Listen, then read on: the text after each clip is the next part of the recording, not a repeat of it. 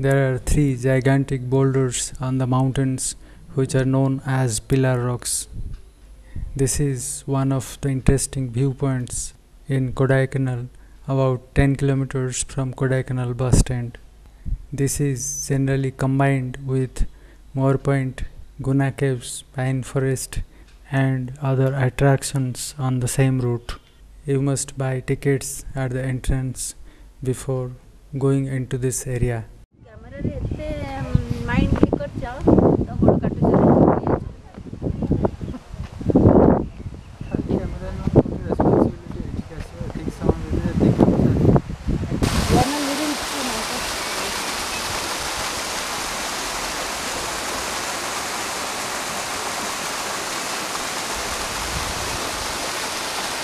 哎，怎么这么热啊？